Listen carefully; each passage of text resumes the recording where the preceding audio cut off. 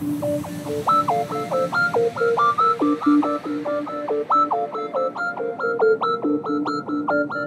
ain't finished yet. Sin B style.